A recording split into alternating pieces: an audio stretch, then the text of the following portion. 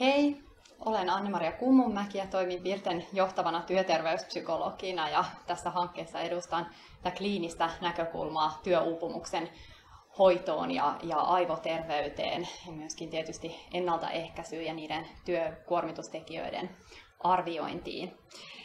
Ja taustasta sen verran, että olen toiminut työterveyspsykologina 10 vuoden ajan, mutta sitä ennen olin johtajuustutkija. Olen myöskin tehnyt esimieskonsultointia, eli sillä tavalla nämä kuormittumisen haasteet hyvin monilla eri organisaatiotasoilla, kuinka ne näkyy, niin ne on tässä työn myötä tullut tutuksi. Ja olen myöskin tällä hetkellä kognitiivisen käyttäytymisterapian psykoterapeuttikoulutuksessa, eli tämä mun näkökulmani tähän uupumukseen on myöskin käyttäytymistieteellinen ja, ja myös sillä tavalla, että, että ei varmaankaan voida puhua yhdestä uupumuksesta, vaan, vaan se, on, se on aina niin kuin ainutlaatuinen ja, ja erilainen myös se, mitä, mitä muotoja se voi saada ja, ja mitä muuta sitten siihen voi myöskin liittyä. Ja mun kanssani täällä tänään on, on Kaisa Hartikainen. Mä oon neurologi ja aivotutkija ja tuon tosiaan tämän näkökulman tämän päivän esitykseen. Ja mä oon tehnyt aivotutkimusta pitkään, tutkinut erityisesti mielentoimintoja, toiminnanohjaustoimintoja, tarkkaavuutta ja tunteita ja näiden vuorovaikutusta sekä aivorakenteita ja toimintoja näiden mielentoimintojen taustalla. Mä johdan äh, Pirkanmaan sairaanhoitopiirissä käyttäytymisneurologian tutkimusyksikköä ja lisäksi mä työskentelen neurologina. Ja siellä neurologin vastaanotolla näen äh, yllättävänkin paljon potilaita, joilla on työuupumusoireita. Ja tänään meidän aiheena on toiminnan ohjaus ja psykologisen irrottautumisen haasteet. Ja, ja me toivotaan, että voidaan antaa uutta ymmärrystä tähän, että miten meidän keho toimii, miten ne kaikki viisi miljardia solua meissä, jotka tekee, työskentelee joka päivä meidän hyväksemme sen eteen, että meidän tämä keho ja sen kaikessa ihmeellisyydessänsä toimii jotta me voitaisiin jotenkin tukea sitä toimintaa, tukea meidän omaa toiminnanohjausta ja, ja sitten myöskin ymmärrettäisiin sitä, että kuinka, minkälaisin keinoin ää, sitten jaksetaan ja, ja myöskin palaudutaan ja ollaan tehokkaita myös myös työnantajan näkökulmasta. Eli meidän, meidän tavoitteena ei ole tänään niin kuin, tuoda sitä näkökulmaa, että no niin, teet tämäkin asia vielä eteen enemmän, niin kuin, suorita vielä tämäkin ja, ja vielä semmoista niin kuin, lisätä sitä vaativuutta itseä kohtaan, vaan, vaan pyritään pikemminkin antamaan sitä armollisuutta, ää, semmoista, että, että me ymmärretään, että tää, tällä meidän biologisella systeemillä on myös jotkut tämmöiset toiminnalliset rajoitteet, joiden puitteissa me toimitaan, jotka paljon selittää sitä meidän käyttäytymistä myös. Eli, eli kaikki ei aina joudu taitopuutteesta, vaan, vaan voi olla, että se kuormittuminen on se, mikä, mikä tota, siellä voi myös olla olla tärkeänä taustalla. Eli tuoda sitä armollisuutta sitä kautta. Eikä kaikki johdu viitsimättömyydestä tai, Kyllä. tai tämän tyyppisistä asioista. Kyllä. Eli minkä takia aivoterveys on tärkeä? No se on tärkeä sen takia, että aivot on oikeastaan modernin työelämän tärkein työkalu ja me halutaan pitää työkaluista huolta ja erityisesti halutaan pitää niistä aivoista huolta. Ja, ja tietenkään aivot ei ole pelkästään työkalu, vaan ne on meidän mielemme koti. Eli, eli todellakin on syytä kiinnittää huomioon niiden hyvinvointiin. Niinpä. Ja, ja kun puhutaan aivoista, niin, niin silloin puhutaan myöskin palautumisesta ja, ja kuormittumisesta. Ja, ja me puhutaan, kun puhutaan kuormittumisesta, puhutaan stressistä. Ja kertoisitko lisää tästä? Joo, mä ajattelin, että lähdetään liikkeelle savannilta ja seeproista ja leijonista. Ja, ja tota, ähm, jos me mietitään, että mikä mahdollistaa tai antaa parhaat mahdolliset edellytykset leijonalle saada se saalis kiinni ja vastaavasti mikä tämän parhaat mahdolliset edellytykset sille seepralle päästä karkuun, välttää uhkaava kuolema, niin se on stressi. Eli, eli stressi ää, mobilisoi meidän sekä fyysiset että, että henkiset voimavarat ää, tämmöisessä uhkaavassa, kuormittavassa tilanteessa. Ja, ja sillä tavalla se on hyvin tärkeä, tärkeä reaktio, joka vaikuttaa meidän kaikkiin elimiin ja, ja erityisesti myös aivoihin. No mitä sitten, jos se stressi jatkuu, jos ei sitä palautumista tapahdukaan? No tosiaan, jos ajatellaan sitä zebraa ja leijonaa, niin, niin nämähän on yleensä tämmöisiä ajallisesti hyvin rajallisia hetkiä ja, ja niin kuin selkeitä hetkiä, mitkä on kuormittavia, että silloin kun ollaan sitten päästy karkuun sitä leijonaa, niin, niin tota, stressitilanne on ohi ja, ja zebra voi palautua ja, ja, tota, ja silloin käynnistyy ne elimistön kaikki rakennus- ja korjaustoiminnot, elpymistoiminnat, mitä silloin stressitilanteessa, niihin ei kannata silloin uh, uhrata voimavaroja. Ja, ja tota, tosiaan seproilla ja leijonilla näin, ja, ja, ja, ja äh, se stressireaktio on ikään kuin suunniteltu tämmöiseen tilanteeseen, mikä on rajallinen keskitoltaan ja, ja minkä jälkeen sitten tulee tämä, tämä palautumistilanne. Eli siinä on tavallaan kaksi vaihetta. On tämä, jolloin keho virittäytyy toimimaan, ja sitten on tämä, jolloin keho elpyy ja palautuu. Kyllä. Ja niitä ei myöskään voida erottaa toisistaan. Joo, kyllä, näin on. Ja, ja ihmisillä äh, on, on se ongelma tässä stressireaktiossa, että, että meillä on äh, evoluution myötä, ollaan ikään kuin kehitytty niin pitkälle, että me saadaan käynnistymään tämä stressireaktio ihan pelkästään ajatuksesta. Ja tätä kutsutaan psykologiseksi stressiksi. Ja, ja siinä on harvoin niin selkeää alkua ja loppua. Ja, ja toisaalta myöskään se ikään kuin se uhka ei ole aina niin selkeä, mistä se johtuu. Joo. Eli tarkoitatko, että mielikuvan tasolla uhkaava mielikuva saa aikaan kehossa samat reaktiot kuin mitä todellinen tilanne? Kyllä, just näin. Ja, ja aivot on tärkeä elin stressin kannalta juurikin sen takia, että siellä tapahtuu se tulkinta siitä, että mikä on stressaavaa. Siellä on ne mielikuvat, joiden pohjalta ikään kuin herää, herää se kokemus siitä, että kuinka stressaava mikäkin asia on. Joo, eli tavallaan aina sen ulkopuolisen tilanteen ja minun äh, välillä on aina se mun oma tulkinta, jonka kautta se stressaavuus kulkee. Että mikään ympäristö tai mikään tekijä ei sinällään ole stressaava, vaan se mun tulkinta on se, joka tekee sen. Kyllä, tai, tai näin niin kuin nimenomaan psykologisessa stressissä. Toki meillä voi olla se ihan selkeä, sanotaan, että ollaan auto-onnettomuudessa ja siellä tulee ihan tämmöinen fyysinen, fysiologinen stressitila, joka, joka myös antaa paremmat edellytykset selviytyä niin kuin elimistölle tämmöisistä stressitilanteista, mutta niin kuin psykologisessa stressissä juurikin näin. Joo. No, mennään seproista ja leijonoista sitten siihen, että miten ihmiset eroavat näistä eläimistä ja myös niin kuin muista kädellisistä, niin niin äh, meillä on hyvin kehittynyt aivojen etuotsalohko. Meillä on paljon suurempi aivojen etuotsalohko kuin esimerkiksi muilla kädellisillä. Ja, ja, ja tosiaan se kypsyy hitaasti. Äh, aivojen etuotsalohkojen toiminnat, äh, erityisesti tämmöiset käyttäytymisen säätelyn toiminnat, joita kutsutaan toiminnanohjaustoiminnoiksi, niin ne monesti kehittyy vasta parikymppisenä ikään kuin täyteen kypsyyteen. Ja, ja nämä, juuri nämä toiminnanohjaustoiminnat, jotka on siis käyttäytymisen, ajattelun ja tunteiden säätelyä, niin, niin niitä ohjaa nämä meidän hyvin kehittyneet ja isot otsalohkopiirit, ja ne mahdollistaa sen, että me voidaan toimia kohti jotain meidän tulevaisuuden tavoitetta.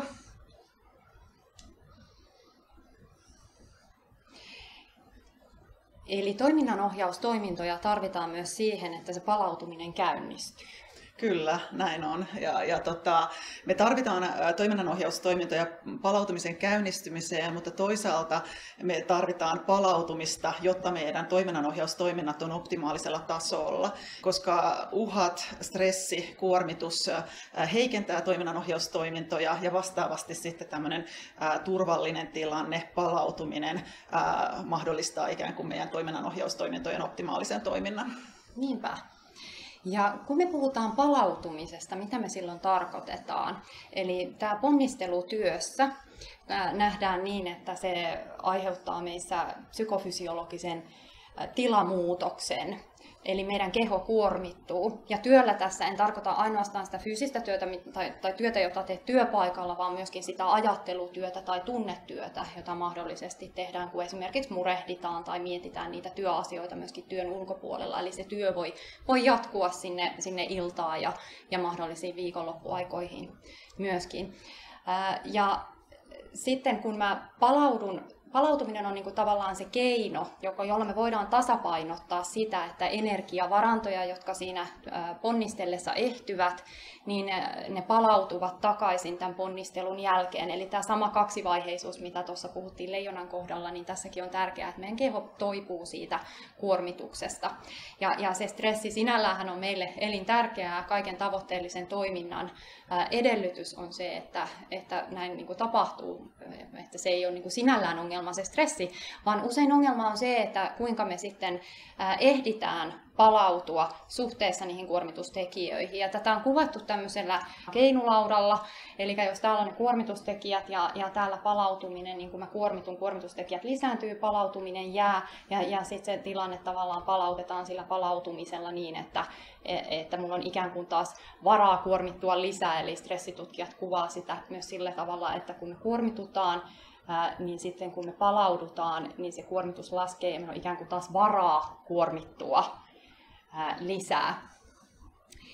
Ja keskeinen kysymys onkin se, että mitä sellaista ihminen tekee, tai mitä sellaista mä teen tai en tee, mikä saa sen mun psykofysiologisen tilamuutoksen aikaan. Eli se, mitä me tiedetään palautumisesta tai ajatellaan siitä, niin sille ei ole niinkään väliä, vaan enemmänkin sillä, että se todella se psykofysiologinen muutos kehossa, eli, eli sydämen syke rauhoittuu, hengitys syvenee, keho rentoutuu, että siinä tapahtuu tämä muutos.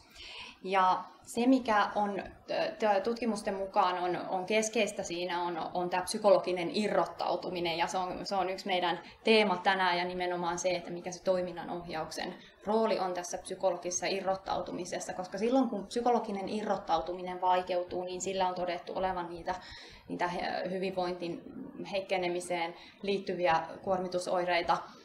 Mutta sitten toisaalta, jos se psykologinen irrottautuminen onnistuu hyvin, niin niin se johtaa hyvinvointiin ja, ja silloin nämä kuormitusoireet ei lähde kumuloitumaan. Eli kyse on siis kuormitusoireiden kumuloitumisesta, eli ne akuutit kuormitusreaktiot sinällään ei ole ongelma, vaan elämä on kuormittavaa, elämä on ahdistavaa, se tuo meidän eteemme asioita, joita meidän täytyy käsitellä, jotka ei ole aina miellyttäviä, joita täytyy, täytyy myöskin sietää sitä, niihin liittyviä tunteita, ahdistusta. Ähm, ja, mutta sitten kun tämä kuormitus jatkuu pitkään ja se palautuminen jää, niin siinä alkaa muodostua tämä epäsuhta psykofysiologisen tilan ja niiden ympäristön, äh, sen tilanteen vaatimusten välille.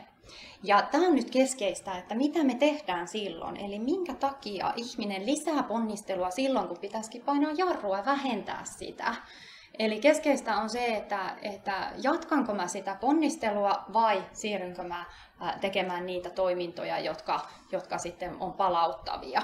Eli tässä, tässä on nyt kuvattu tämä tämä tota epäsuhta, miten se johtaa sinne ponnisteluun, mikä tärkeää on siinä on varmaan se tunnistaa ne tekijät. Eli huomata se, itseni kohdalta. Mehän ollaan kaikki palautujina ja kuormittujina erilaisia.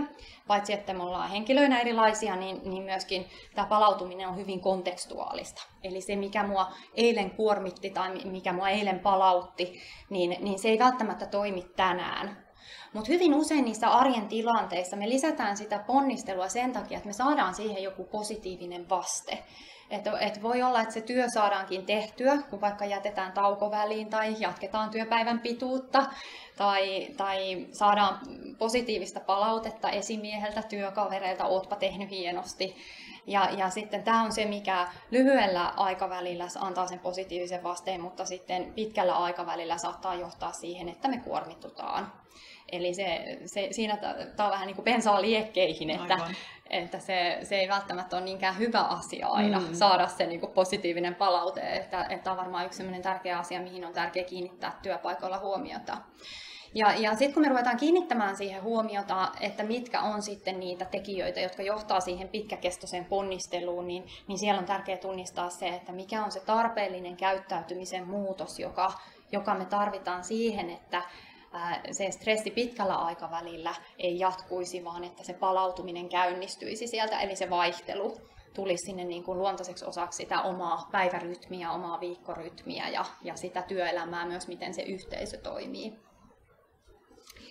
Ja Tästä kohtaa tulee sitten nämä meidän toiminnanohjaustoiminnot kuvaan mukaan. Eli, eli jotta me tunnistetaan se, että mitkä on ne tekijät, jotka johtaa siihen pala- ponnistelun niin kuin lisääntymiseen, niin, niin se ei aina olekaan niin helppoa.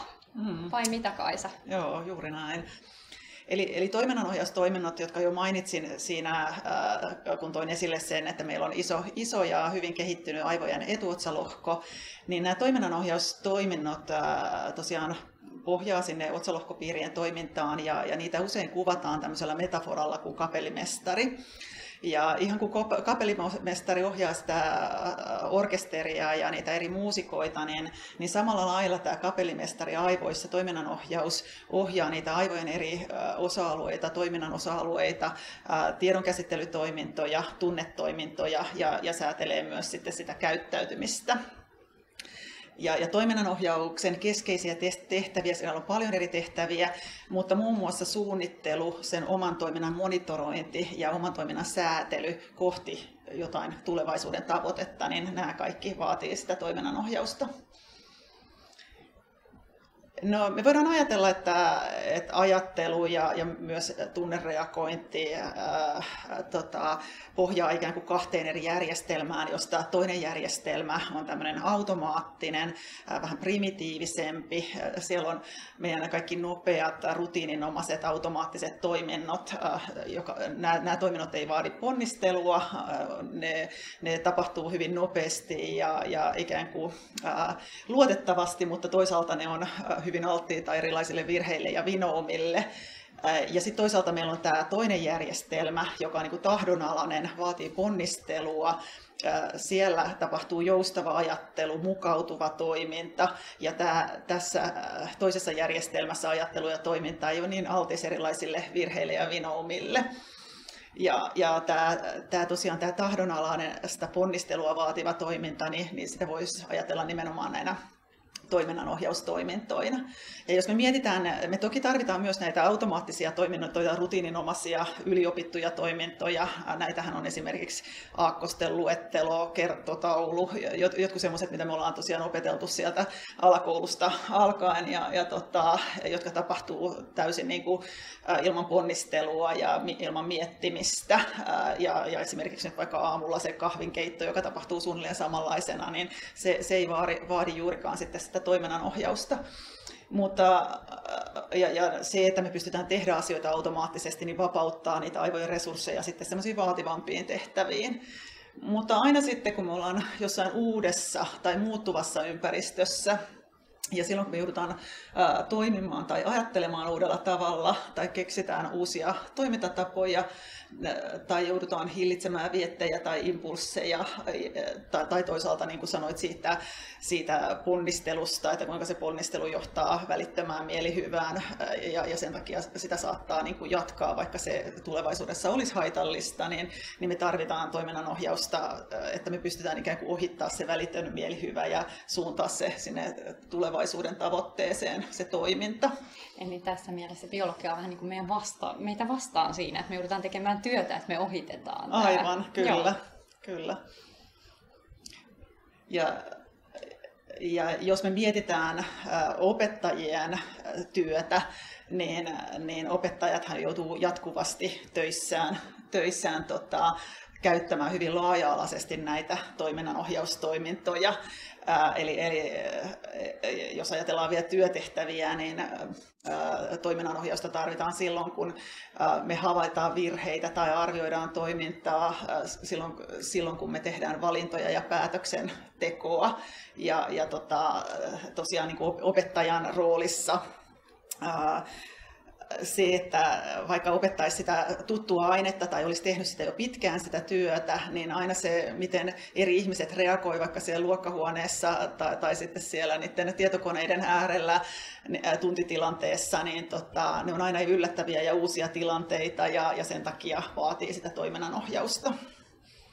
Joo, eli ylipäätään asiantuntijatyössä, jos ajattelee, niin, niin me tarvitaan toiminnan ohjausta. Kyllä. Ja tämä on niin kuin jo asiantuntijatyössäkin haastavaa, mutta sitten siihen lisätään vielä tämä opettajatyön tämmöinen kasvatuksellinen ulottuvuus, jossa Aivan. sä oot tekemisissä lasten kanssa, että mitä sä ajattelet siitä?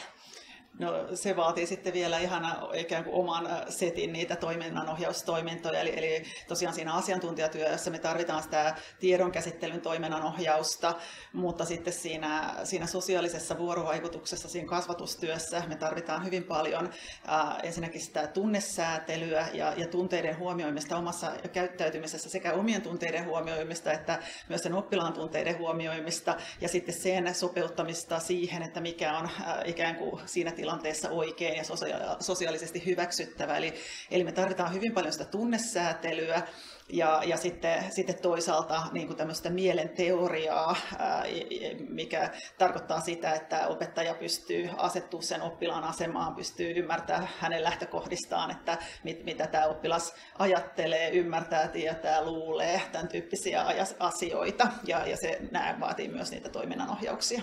Joo, ja tästä puhutaan nyt näistä aivokuoritoiminnoista. Kyllä. Mutta sitten miten käy kuormitustilanteessa?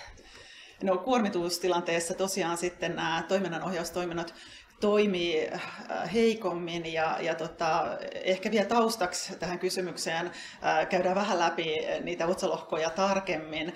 Ää, äh, eli, eli otsalohkoissa on, on kolme eri aluetta. Siellä on, on tämmöinen orbitofrontaalinen alue, joka on tuossa silmien yläpuolella ja se on semmoinen alue, jota, jota olen erityisesti tutkimusryhmäni kanssa tutkinut ja, ja tota, tämä on muun muassa semmoinen aivoalue, joka on tärkeä siinä mielenteoriassa ja toisaalta siinä tunnesäätelyssä.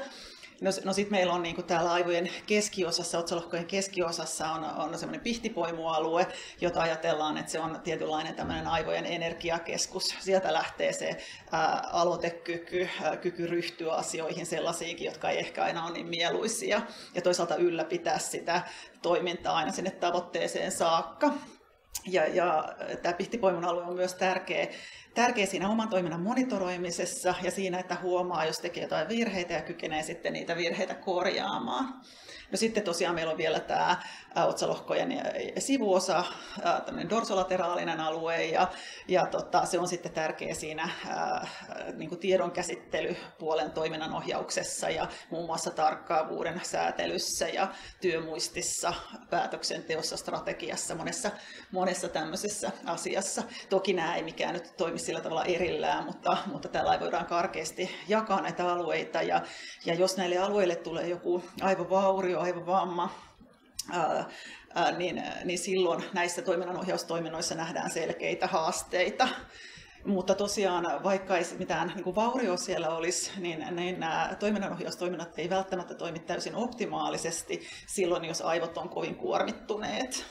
Joo. Niinpä.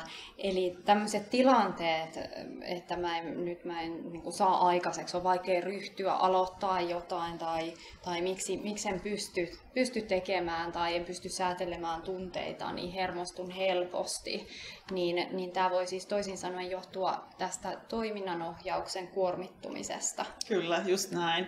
Ja, ja tota, tosiaan se uhkatilanne, stressitilanne, liiallinen kuormitustilanne, niin se vahvistaa niitä niitä automaattisia toimintoja, mistä puhuttiin, niitä voimakkaita, ehkä primitiivisiäkin tunnereaktioita.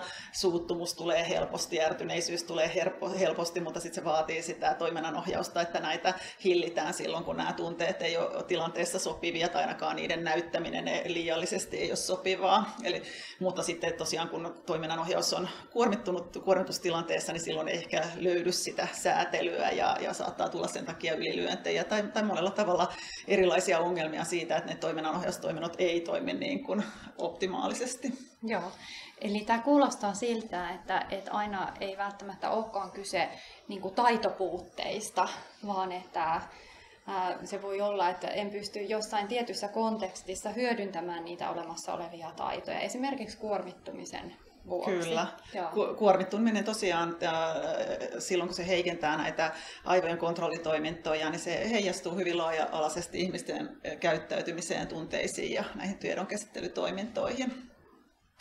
Ja, ja tosiaan nämä aivokuormitusoireet voidaan nähdä sekä siellä tiedonkäsittelyhaasteina, tunnesäätelyhaasteina, että käyttäytymisen ja tämmöisen niin kuin itsensä johtamisen haasteena. Ja, ja jos käydään muutamia asioita läpi, minkälaisina ongelmina saattaa näkyä tämä käyttäytymisen säätelyhaasteet, niin toiminta voi olla impulsiivista, tämmöistä lyhytnäköistä ja, ja monesti sitten valitaan ne tavat ja rutiinit tai yliopitut toimintatavat, yliopitut ajattelutavat niin kuin tämmöisen uudenlaisen tai, tai tavoitteeseen tähtäävän toiminnan sijaan. Ja, ja monesti myös sitten se välitön mielihyvä ratkaisee sen sijaan, että ponnisteltaisiin johonkin tulevaan mielihyvään tai tulevaan tavoitteeseen. Ja, ja tosiaan tunnesäätelyssä voidaan nähdä hyvinkin paljon ongelmia ja joskus nämä ongelmat näkyy sitten mielialaongelmina, ahdistuneisuutena tai masentuneisuutena ja, ja ärtyneisyys on hyvin yleistä myös silloin, kun ihminen on ylikuormittunut. Eli kuormittuneisuus voi, voi sitten näkyä myös monella lailla siellä tiedonkäsittelyhaasteissa, ajattelu tosiaan menee automaattiohjaukselle, siellä tulee helpommin erilaiset ajatteluvinoumat ja, ja tämmöinen kaavamainen ajattelu. Tarkkaavuudessa voi olla monenlaista haastetta työmuistissa, joka nämä tarkkaavuuden ja työmuistin haasteet usein sitten heijastuu niin kuin käytännössä tämmöisiin, tai näyttäytyy muistin vaikeutena noin laajemminkin. Ja, ja ajattelu ja toiminnan joustavuus ei, ei ole niin hyvällä tasolla kuin silloin, kun ihminen on levännyt. No tosiaan siitä joustavuudesta, että et silloin kun ä, toiminnan joustavuus heikkenee, niin tosiaan on vaikeus toimia uudella tavalla ja, ja juurikin se irrottautuminen, mistä puhuit aikaisemmin, niin voi olla vaikea irrottautua siitä työtehtävästä, vaikka kuinka tietäisi, että nyt mun pitäisi pitää tauko tai nyt mun olisi hyvä syödä tai mun olisi hyvä lähteä kotiin, niin tosiaan se irrottautuminen on silloin hankalaa, kun on taipumus jumiutua siihen tehtävään. No stressi vaikuttaa tosiaan sitten tämmöisiin estotoimintoihin myös, tai, tai ylikuormittuneisuus, ja, ja tota, silloin, silloin on, on vaikea myös estää sellaista toimintaa, joka tuottaa sitä välitöntä mielihyvää, niin kuin, niin kuin saattaa olla tämmöisessä tilanteessa, että ponnistellaan silloinkin, kun olisi parempi pitää se tauko. Ja, to, ja tosiaan vielä siihen tarkka, tarkkaavuusvaikutuksiin, niin kun ollaan kuormittuneita, niin me ollaan myös paljon häiriöherkempiä, että jos ylipäänsä on haastavaa se, sanotaan nyt vaikka jos ollaan avokonttorissa tai mikä tahansa tämmöinen tilanne, missä tulee, tota, tulee to, näitä häiriötekijöitä itsestä riippumatta, niin silloin kun toiminnanohjaus toimii hyvin, niin sä pystyt suodattamaan ne häiriötekijät, ja silloin kun toiminnanohjaus toimii huonosti, niin se tarkkaavuus hakeutuu kaikkiin niihin häiriöasioihin, mitä siellä ympärillä on, ja, ja sitten se on taas työlästä palauttaa tarkkaavuus takaisin siihen työtehtävään. Mutta mut sillä että tosiaan pieni stressihän saattaa vaikka parantaakin tiedonkäsittelytoimintoja, että kyse on siitä, että stressi on liiallista, milloin siinä alkaa tulla sitten näitä haitallisia tiedonkäsittelyvaikutuksia. Ja stressi tosiaan sitten vielä sen tarkkaavuuden kautta ää, monesti vaikuttaa ää, niin kuin siihen kokemukseen omasta muistista tai, tai, tai siihen tosiaan, että ei muista asioita niin hyvin kuin kuin äh, pitäisi ja, ja tota, äh, siinä, siinä sitten kuitenkin ollaan hyvin erilaisissa mekanismeissa äh, tai siellä taustalla on erilaiset aivomekanismit kuin, kuin mitä nyt sitten muistisairauksissa tai Alzheimerin taudissa. Eli, eli tota, kun Alzheimerin taudissa aivojen muistirakenteet ei kunnolla toimi ja muistiaineksen tallentaminen on haastavaa, niin tämmöisessä kuormittuneisuustilanteessa se ongelma on monesti tarkkaavuudessa siinä, että se tarkkaavuus ei ole kohdistunut siihen asiaan, joka pitäisi muistaa. Eli me ei voida muistaa mitään, mitä, mihin meillä ei ole ensin tarkkaavuus asianmukaisesti kohdentunut. Joo, eli se jos PIN-koodit unohtuu ja lompakko unohtuu, avaimet unohtuu, niin se ei välttämättä olekaan merkki alkavasta dementiasta, vaan, vaan se voi olla merkki kuormittumisesta ja, ja tästä tarkkaavaisuuden, tarkkaavuuden häiriöstä. Kyllä, just näin. No, mitä sitten sanoisit tunteiden säätelystä kuormitustilanteessa? Eli sivusinkin jonkun verran jo sitä, äh, sitä asiaa aikaisemmin, äh, mutta tota, mä ajattelin, että mennään lyhyesti läpi tämmöisiä aivojen pelkoratoja, nopeita primitiivisiä pelkoratoja ja palataan tuohon kysymykseen.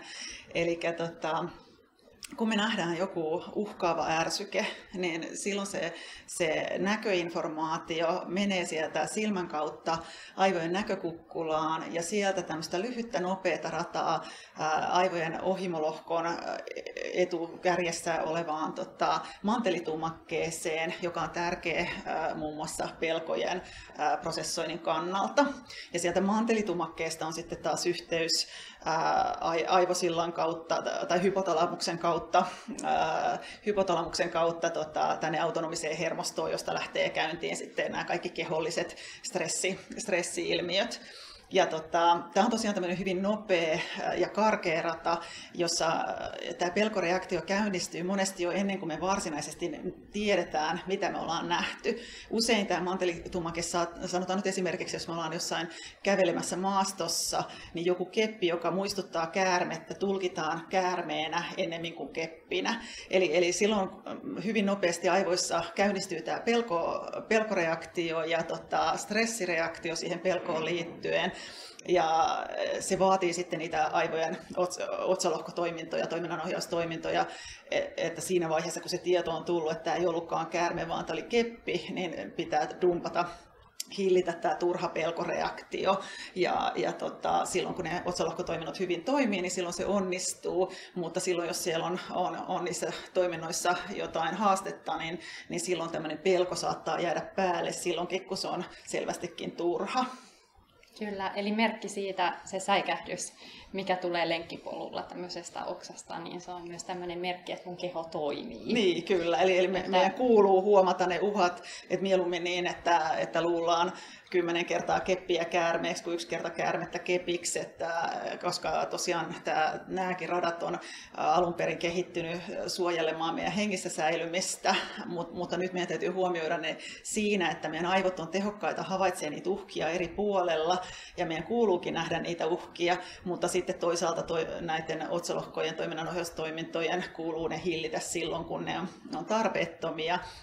Ja, ja sitten tämmöisessä psykologisessa stressissä, ahdistuneisuudessa ää, saattaa ikään kuin nähdä niitä uhkia vähän joka puolella ja ne uhat jää päälle, sitä rauhoittelu, hillitsemisreaktiota ei riittävässä määrin tulekaan.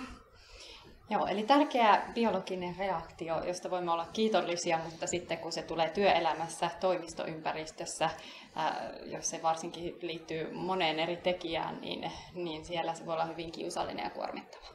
Ja, ja ehkä sen verran vielä sanon tästä niin tunteiden ja tiedonkäsittelyn vuorovaikutuksesta, että tämmöiset voimakkaat uhat priorisoidaan aivoissa, jolloin sitten esimerkiksi ne tarkkaavuusresurssit ja ne toiminnanohjausresurssit allokoidaan sen uhan käsittelyyn ja uhan minimointiin, jolloin jälleen kerran ne, ne resurssit, joita me tarvittaisiin siinä työtehtävässä, jos se varastaa esimerkiksi työilmapiirissä olevat uhka tai uhka irtisanomisesta tai mikä se uhka onkaan, niin silloin niitä toiminnanohjausresursseja ei välttämättä ole niihin työtehtäviin samalla lailla, koska se ei ole mikään työntekijän oma valinta, että, että nyt mä pohdin näitä asioita, vaan aivot kerta kaikkiaan priorisoi sen uhan. Eli aivot tekee sen valinnan meidän puolesta. Kyllä.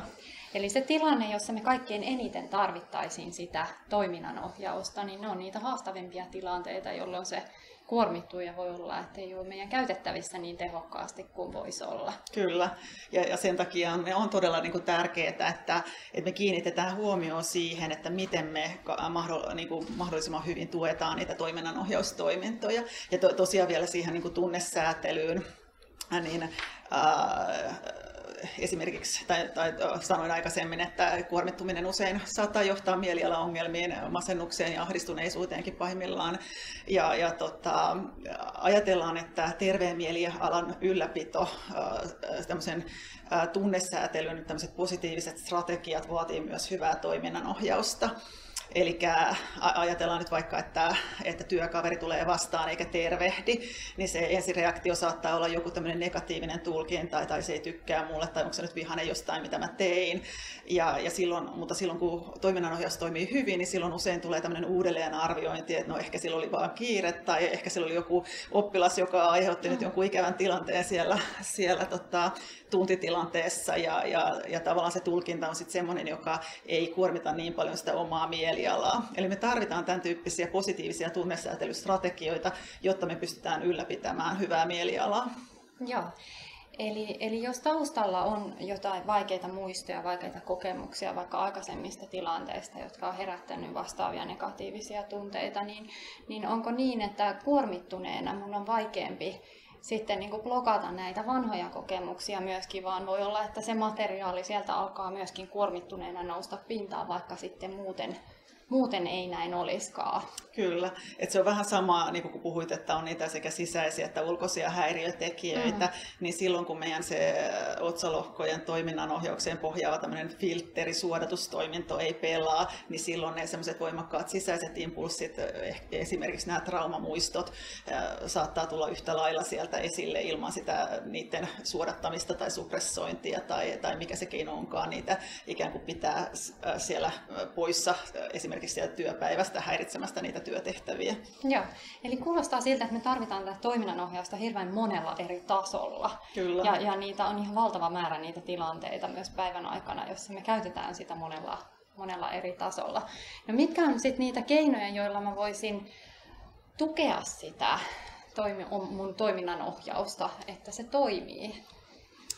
No yksi on tosiaan se, että saa riittävästi sitä palautumista, lepoa, ikään kuin hellitään niitä aivoja, tuetaan, tuetaan sitä palautumista. Ja, ja tota, ne on niitä tärkeitä keinoja, ettei päästetä semmoista ylikuormitustilannetta, liian pitkään jatkuvaa ylikuormitustilannetta, että se on ihan niin kuin se, se paras keino, koska, koska tosiaan silloin kun me ollaan kuormittuneita, toiminnanohjaustoiminnot ei toimi. Ja toisaalta sitten kun toiminnanohjaustoiminnot ei toimi, niin meidän on vaikea päästä siitä, siitä noidankehästä joka niin kuin tulee siitä, että kun, kun stressin säätelymekanismit on heikot, niin koetaan enemmän stressiä, mikä edelleen heikentää niitä stressin säätelymekanismeja. Eli, eli tota, Anne-Maria, sulla on varmaan tähän jotain sanottavaa, että, että mitkä ne keinot olisi, että me ei jouduta tähän noidan kehään. Joo, eli varmaan aika usein meillä on se tilanne, että me, me tiedetään, vähän sama kuin ruokavaliossa ja, ja tämmöisessä niin kuin terveellisessä syömisessä. Et me tiedetään, mitä meidän kuuluisi syödä, mutta sitten kuitenkin jostain syystä me on, meidän on niin kuin haastavaa tehdä niin. Ja, ja samalla tavalla tämän palautumisen kanssa, että jos mä nyt nopeasti googlaisin äkkiä, jos mä löytäisin tuolta varmaan puolesta tunnista lähes kaiken, mitä palautumisesta on, on niin kuin saatavissa tietoa, mutta ehkä haastavaa on se, että mitä sitten kun mä ylivirittyneenä tuun kotiin työpäivän jälkeen ja tuntuu, että ne kierrokset on päällä, niin mitä mä silloin voin tehdä. Ja, ja, ja tämä on, nyt kun sä kerrot tästä toiminnanohjauksesta, niin mun tulee myös mieleen se, että, että se on, to, toki on, ei ole koskaan liian myöhäistä jarruttaa, mutta että, että varmaan nämä on sellaisia asioita, mitä on niin kuin hyvä tehdä niin kuin ennaltaehkäisevästi, koska jos se toiminnanohjaus vaikeutuu, niin silloinhan mä en enää tavoita, että se piuha on niin kuin poikki sieltä aivokuorelta. Ja, ja mä oon sen oman vanhemman aivorakenteen varassa, limpisen järjestelmän varassa, jolloin, jonka mun on vaike, jolloin mun on vaikeampi niin kuin, tavoittaa niitä työvälineitä, joita mä tarvitsen siihen palautumisen käynnistymiseen, mutta myöskin niin kuin niiden toimintojen niin kuin yllä, ylläpitämiseen ja ihan siihen niin kuin huomaamiseen, että mitä ne sitten on, mitä mun kannattaisi tehdä juuri nyt palautuvakseni. Mutta jos me tarkastellaan sitä vireystilaa nyt tässä, että, että mikä, mikä sitten auttaa pitämään semmoista hyvää, sopivaa vireystilaa, jossa tämä vaihtelu, kuormituksen ja palautumisen välinen, väliset rytmimuutokset mahdollistus, niin, niin silloin on varmaan keskeistä ajatella niitä meidän tavoitteita. Että onko ne niinku realistisia vai asetanko itselleni liiallisia tavoitteita suhteessa siihen työmäärään ja niihin resursseihin, jotka on käytettävissä. Mutta myöskin se, että se palautuminen kuuluisi olla kalenteroitu sinne kalenteriin, koska jos ei se siellä ole, niin vaikea on löytää aikaa just näistä syistä, mitä sä kuvasit, että se toiminta helposti ylläpitää itseään, että me jumiudutaan sinne ja, ja sitten se tuottaa sen tyyppistä mieli, mielihyvää, että, että sitten meidän täytyisi pystyä käyttämään työtä siihen, että me me pystyttäisiin niin kuin suuntaamaan toisin sitä toimintaa ja kuormittuneena se voi olla sitten toiminnanohjaukselle aika vaativa, vaativakin tehtävä. Eli silloin olisi hyvä, että ne meidän kalenterisysteemit ja, ja kellot, jotka herättää, soittaa, että muistuttaisi meitä siitä palautumisesta ja tauottuksesta. Eli se tietoinen ajankäyttö työssä.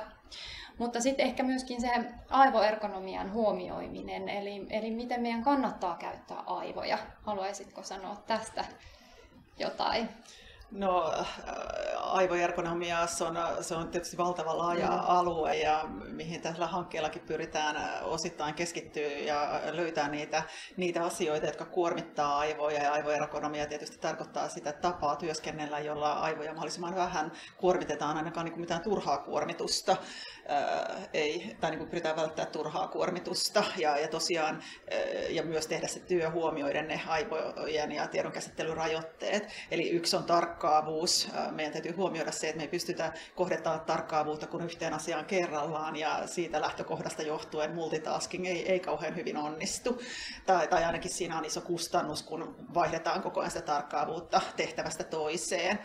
Ja tota, no sitten on paljon tietysti ihan työvälineisiin liittyen. Työmuisti on sellainen, joka helposti kuormittuu, kuormittuu sitten, kun ollaan stressaantuneita. Ja, ja me voidaan tehdä niitä työtehtäviä sillä tavalla, että hyödynnetään erilaisia apuvälineitä tai esimerkiksi meillä on useampi näyttö tai muuta, joka auttaa siinä, että meillä ei tarvitse olla kaikki siellä omassa työmuistissa, joka on hyvin rajallinen ja erityisesti sitten kuormittuneena. Mutta näitä on paljon erilaisia asioita, missä me voidaan meidän aivoergonomiaa huomioida.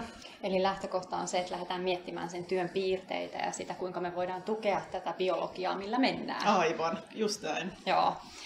Ja, ja sitten tärkeä asia on tietysti tämä, että kuinka mä palaudun myöskin työpäivän aikana. Että ei pelkästään se palautuminen työpäivän jälkeen ei riitä meille, vaan että meidän täytyy myös hengittää, palautua siinä, ihan tauottaa sitä työtä myös työpäivän aikana, että ne on loppujen lopuksi aika lyhyitä ää, aikoja, kun me jaksetaan yhtäjaksoisesti työskennellä ja puhumattakaan sitten tästä multitaskauksesta tai tämmöisestä moni, monitasoisesta multitaskauksesta, mitä, mitä sitten opettajankin työssä puhutaan.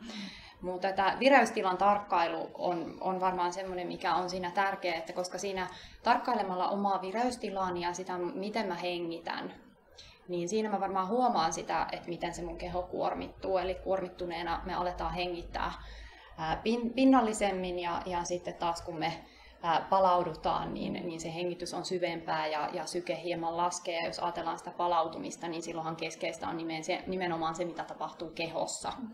Saako tuohon väliin Juu. sanoa, että, että niin silloin kun hengitetään tällä pinnallisesti, monestihan myös tämä niskahartiaseutu on, on jännittynyt ja siitä tulee monenlaista sitten oiretta. Tai se on sellainen tyypillinen oire, mikä näkyy sitten kanssa kuormittuneilla, ei, ei pelkästään sen päätettyä vuoksi, vaan juuri sen kuormittumisen vuoksi. Kyllä, ja hengitys on myös se, millä me säädellään tunteita. Eli, eli sitten jos, jos on jotain, että me ei voidakaan kokea niitä tunteita tai tuoda niitä siinä tilanteessa, jossa me toimitaan, niitä omia sen hetkisiä todellisia tunteita esimerkiksi asiakastyössä tai opettajana, niin, niin silloin se, me helposti niin kuin aletaan pidätellä niitä myöskin siinä, että tässä myöskin nämä niin kuin niskat on, on sitten se, millä niitä, niitä sitten säädellään. Ja jos ajatellaan, että mikä on keskeistä, niin, niin varmaan semmoinen oman tietoisuuden herättäminen, oma itsereflektio siinä, että miten mä tämän tilanteen koen, koska me ollaan kaikki kuormittuina, palautujina erilaisia, mutta myös tilanteet on erilaisia. Että miten mä koen tämän tilanteen juuri nyt ja mitä mä tarvitsen juuri nyt.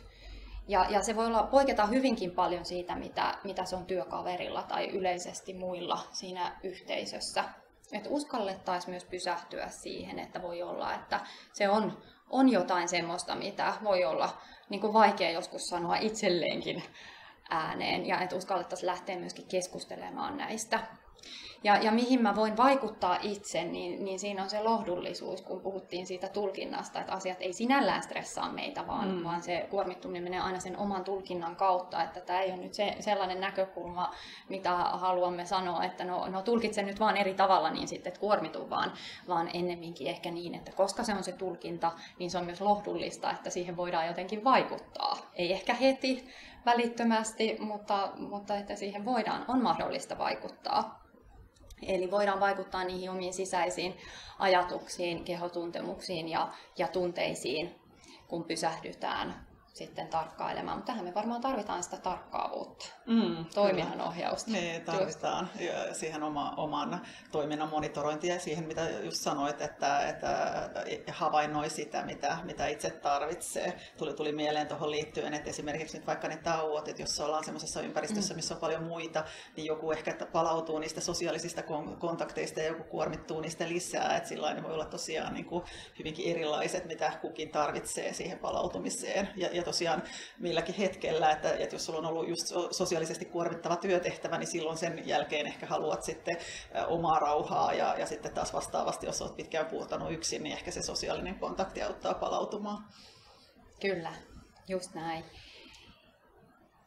Ja voi olla, että tämä on sellainen asia myöskin, että, että mikä on koettu, että on erilaisia harjoituksia, on kehotettu rentoutumaan, on annettu mindfulness, mutta sitten tulee, tulee niinku se vaikeus siinä, että mut kun en mä vaan tuu aloittaneeksi, mä en mm. vaan niinku pääse siihen tai mä en pysty rentoutumaan, että keho on jotenkin niin ylivirittynyt, että tähän me tarvitaan sitä toiminnan ohjausta, että me ylipäätään päästään niinku käyttämään näitä näitä niin kuin usein tarjottuja työvälineitä varmaan se, mikä on keskeistä, niin on myöskin, tämä, että aletaan tunnistaa niitä, niitä kohtia, että, että mikä, mikä on se tekijä, joka mua kuormittaa ja mitä mä voisin sille tehdä ja tunnistaa niitä myöskin ennaltaehkäisevästi, ei ainoastaan sitten, kun se, se tota, kuormitus on jo niin kuin kovin suuri.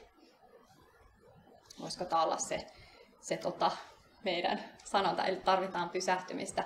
Mielen luonteeseenhan kuuluu se, että mieli on, on joskus tyyni, mutta usein ei. Ja, ja se ei silti tarkoita sitä, etteikö me voitaisiin pysähtyä siihen hetkeen ja tarkastella sitä, että mitä, mitä se meissä herättää ja, ja myöskin niin kuin tunteet on, on informaatiota, ne on informaatiota minusta itsestäni, ne on informaatiota minun suhteestani ympäristöä ja sit ympäristöstä, että semmoinen tietynlainen hyväksyntä voi auttaa sitä, sitä että, että mä niin kuin alan niin kuin jotenkin realistisemmin tunnistaa niitä tunteita ja, ja sitten niin kuin rohkeammin ehkä sitten myöskin niin kuin hyväksyn ja, ja, ja niin kuin, pääsen sitä kautta niin kuin eteenpäin siinä, että, että mitä, mitä mä juuri tällä hetkellä tarvitsen ja mitä, mitä pystyn tekemään. Ja tuossa kliinisessä työssä se näkyy aika selvästi, että tällaiset ihmiset, jotka on sitten alkanut harjoittaa näitä mindfulness-taitoja, niin, niin onkin sitten huomannut, että se sietokyky siihen oman stressin sieto, oman ahdistuksen sietokyky on alkanut kehittyä. Ja sitten he on alkanut tietoisemmin tunnistamaan myöskin niitä asioita. että meillä on myös sellaiset puolustautumismekanismit, jotka ei aina ole meidän puolella siinä, että, että tota, aina saadaan kiinni siitä, siitä tota, asiasta. Ja jos nyt tästä tällaista, tällaista niin kuin yhteenvetoa ajatellaan, että mikä on semmoista keskeistä, keskeistä näiden omien voimavarojen hyödyntämisessä, niin varmaan tämä ajatus tästä mielikuvasta, mitä tuossa aikaisemminkin käytiin, että, että niin kuin mielikuvat herättää meidän kehossa samoja reaktioita kuin kuin ne todelliset tilanteet, mm. että keho ei välttämättä sitä tunnista. Niin, ei erota niitä sitä ero... toisistaan. Mm. Joo, niin, niin miksi ei myöskin hyödynnettäisi niitä positiivisia voimavaramielikuvia Aivan siinä niin kuin omassa palautumisessa.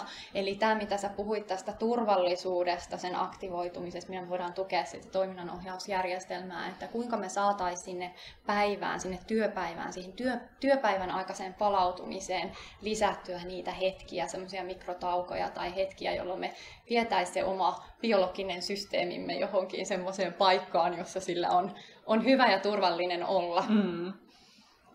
Ja tämä niinku rauhoittuminen on varmaan se keskeinen siinä. Myöskin erilaiset pätevyyskokemukset, eli mä osaan, mä pystyn, tämmöiset, nämä on hyvin voimaannuttavia. ja sitten myöskin tämä yhteenkuuluvuuden tunne, sen vahvistaminen. Monet sanoo sitä, että työkaverille, että työssä on niin kaikkein tärkeintä ne työkaverit ja se yhteisöllisyys ja merkityksellisyyden kokemus, jota, jota niin sen kautta voi saavuttaa, että se on niin kuin hyvinkin palauttavaa ja myöskin niin kuin merkityksellistä sen työn kannalta, mutta sitten myös tämä niin kuin toivon ylläpitäminen. Ja jos näitä positiivisen psykologian tekijöitä ajatellaan, mitä on esitetty, positiivisella psykologiallahan tarkoitetaan sitä, että että jos tota, aikaisemmin on ajateltu niin, että kun me ne kuormittavat asiat saadaan hoidettua, niin me ikään kuin voidaan hyvin. Mutta että näinhän se ei ole, kun kuormitustekijät saadaan hoidettua, niin silloinhan se tila on niin neutraali. Mutta sitten jos me halutaan voida hyvin, niin se on sitten ne hyvinvointitekijät, mitä täytyy vahvistaa. Eli se merkityksellinen elämä ja ne merkitykselliset asiat siellä työssä myöskin, jotka, jotka tuo meille sitä hyvinvointia, että ne ei ole niin saman ulottuvuuden kaksi eri päätä, vaan ne on ihan, e, ihan eri asioita. Ja millä tavalla me voitaisiin lähteä tukemaan niitä, niitä niin voimavaratekijöitä, niin siinä varmasti on keskeinen tekijä nämä sosiaaliset ihmissuhteet siellä työpaikalla. Ne voi toki olla myös kuormitustekijä, mutta, mutta ne voi olla hyvin tärkeä tekijä palautumisen kannalta. Myöskin se, mikä siinä työssä on kivaa, mihin mä oon sitoutunut siinä, ää, miten mä koen sen merkitykselliseksi. Miten se työ vastaa niihin mun arvoihin, mun arvomaailmaan. Kyllä. Että jos näitä voidaan niinku ruokkia siellä työpaikalla yhdessä, niin se voi tuoda sitä työpäivän aikaista palautumista. Et ei oltaisi aina niinku sisällä niissä työtehtävissä tai haasteissa tai ongelmissa, joita se tuo, vaan muistettaisiin myös sitä, sitä että mikä on hyvin ja mikä, mit, mitä me tehdään, mitä tärkeää työtä me tehdään ihan joka päivä että ihan hyvä käytäntö on niin kuin aamulla kun herää, niin, niin miettiä, että, että mitä, mm-hmm. mitä, niin kuin, mitä mä voin antaa tälle yhteiskunnalle mm-hmm. tämän työni kautta. Sehän on tavallaan semmoinen lahja, jonka mä annan, valitsen mm. antaa joka päivä. Ja sen keskeistä siinä varmaan on se tämä niin kuin valinnan kokemus, joka lisää taas sitä, sitä niin kuin, ä, omaa sitä toimijuuden kokemusta.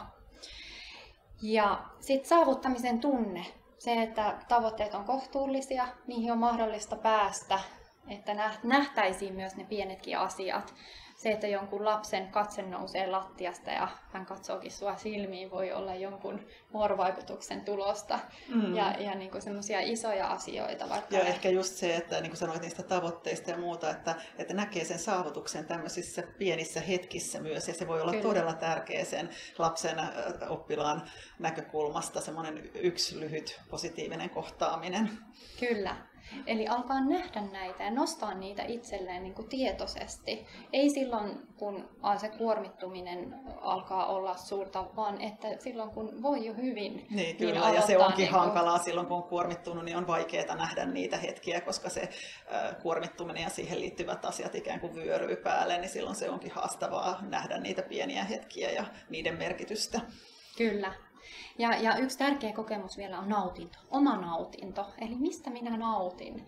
Ja, ja sehän voi vaihdella sen, sen niin kuin tilanteen mukaan, että joskus se voi olla joku, joku makeinen tai ihana kahvi, mutta joskus se voi olla taas sitä, että, että nyt mä nautin tästä työn tekemisestä, että nyt mä oikein niin kuin paiskoja rutistan ja, ja nyt me saadaan yhdessä tämä aikaan, että, että niin kuin herkistyy niille hetkille, niille kokemuksille ää, niin, niin tämä on myös semmoinen ehkä just tämä herkistyminen sille elämyksellisyydelle, mikä toisaalta näkyy myös palautumistutkimuksessa, kun näitä metsä, metsä viherpaikkakokemuksia on tutkittu, että ketkä palautuu parhaiten, niin on nämä fiilistelijät, jotka näkee siellä luonnossa sitten niin kuin kaikenlaista merkityksellistä.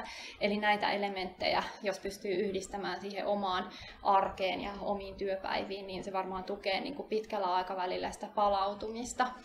Eli jos tota sun orkesterimielikuvaa käyttää, niin, niin voi ajatella, että me niin kun, paitsi että meillä täytyy olla se soittotaito, eh, mutta että sitten myöskin niin kuin ihan joka kerta, kun me lähdetään soittamaan, niin me varmaan niin kuin jotenkin virittäydytään siihen tilanteeseen, että mä viritän oman instrumenttini, mutta sitten virittä, virittäydytään vielä niiden soitin kavereiden kanssa, niin tota, sitten se kapellimestari on helpompi toimia toimia siinä, että, että sit pystytään niin hyödyntämään parhaiten sitä meidän toiminnan ohjausta, kun, kun, tota, kun ollaan, ollaan tietoisempia ja, ja ollaan sitten ehkä jotenkin aktiivisempia myös sen oman palautumisen kanssa. Ja myös semmoinen oma hoivan kokemus on semmoinen, minkä haluan tässä nostaa, että mitä enemmän me hoivataan muita ja annetaan itsestämme muille tai ollaan niin kuin toisten tunteiden säätelyn käytettävissä, niin kuin voisi ajatella, että opettaja työssään on lapsen tunteiden säätelyn käytettävissä siinä aikuisena kasvattajana, niin niin me tarvitaan myös itse sitä hoivakokemusta, eli kysymys siitä, että milloin mä itse tulen hoivatuksi. Ja, ja että, että se on tärkeä sen niin kuin pitkän aikavälin kannalta, koska siinähän siinä vuorovaikutuksessa me otetaan paljon vastaan. Jo pelkästään meidän peilisolut siinä, siinä aktivoituu vuorovaikutuksessa välittyy paljon sellaista, mistä mä en tee valintaa ja mistä mä en ehkä ole edes tietoinen, mitä, mitä kaikkea siitä siirtyy. Että jos ajatellaan sitä opettajan työn tunnekuormaa, niin, niin siinä on myös niin kuin palautumisen kannalta tärkeää tunnistaa se sitten, että mis, minne mä tämän niin kuin puran tämän kaiken, mitä, mitä siinä on sit päivän aikana niin kuin ruvennut kumuloitumaan tai viikon aikana kumuloitunut. Että et semmoinen niin oman keho, kehotietoisuuden herättäminen ää, voi olla tärkeää myöskin tämän palautumisen kannalta. Mutta jos palataan tähän, tähän tota, että no mi, mitäs tästä kaikesta nyt sitten loppuyhteenvedoksi voitaisiin sanoa, niin, niin tota, olisiko sulla tähän, tähän jotain? No oikeastaan mä haluaisin sanoa sen, millä aloitettiinkin, että, että aivot on se tärkein työkalu modernissa työelämässä ja, ja aivojen hyvinvoinnilla taataan tosiaan se työn tehokkuus ja, ja tietynlainen tuottavuus, mitä se sitten opettajan työssä onkaan, että saa ne oppilaat oppimaan tehokkaasti ja, ja voimaan hyvin. Ja, ja, ja tota, mutta tosiaan sen lisäksi ne aivot on se meidän minuus siellä on kaikki meidän muistot, ajatukset, tavoitteet, tunteet ja, ja tota, meidän täytyy vaalia sitä oman, oman hyvinvoinnin ja oman elämänlaadun vuoksi ja, ja tosiaan aivoterveyteen panostaminen on, on niin kuin sekä yksilön näkökulmasta tärkeää ja kannattavaa, niin myös työnantajan kuin koko yhteiskunnankin näkökulmasta. Niinpä, eli aivot tuottaa myös sen kokemuksen, miltä tuntuu olla minä. Kyllä. Miltä elämä tuntuu, miltä se maistuu. Mm. Joo. Ja että se maistuu. Mm. Kyllä. Ja, ja mitä me voidaan niin kuin vahvistaa, jos me ajatellaan niin kuin sit laajemmin niin kuin yhteisöä ja yhteiskuntaa, niin ää, tähän loppuun on otettu tämmöinen ajatus, mikä on käyttäytymistieteen isän P.F. Skinnerin ajatus psykoterapian tieteen ja yhteiskunnan tehtävästä joka on siis luoda olosuhteet, jotka maksimoi asian kuuluvan terveellisen ja positiivisesti vahvistetun käyttäytymisen. Eli ajatus siitä, että miten me voidaan luoda sellaisia ympäristöjä, jotka sitten vahvistaa meille sellaisen käyttäytymisen, mikä tukee meidän terveyttä, meidän aivoterveyttä ja sitä, että se meidän toiminnan ohjaus toimii. Kyllä. Koska ja kaikissa näissä haasteissa, mitä me joudutaan kohtaamaan, että tosiaan ei voida mitään tälle haasteelle, mihin ollaan jouduttu nyt niin kuin koko maailma ja, ja, ja jokainen yksilö, jokainen omalla tavallaan, mutta, mutta tosiaan näitä asioita ruokkimalla niin ehkä parhaiten, parhaalla mahdollisella tavalla voidaan selviytyä näistä haasteista. Niinpä. Ja tämä on myös se, mikä, mikä meitä innostaa tässä, tässä hankkeessa nyt sitten oma osuutemme tuomaan tähän, tähän tärkeään tehtävään. Kiitos teille. Kiitos.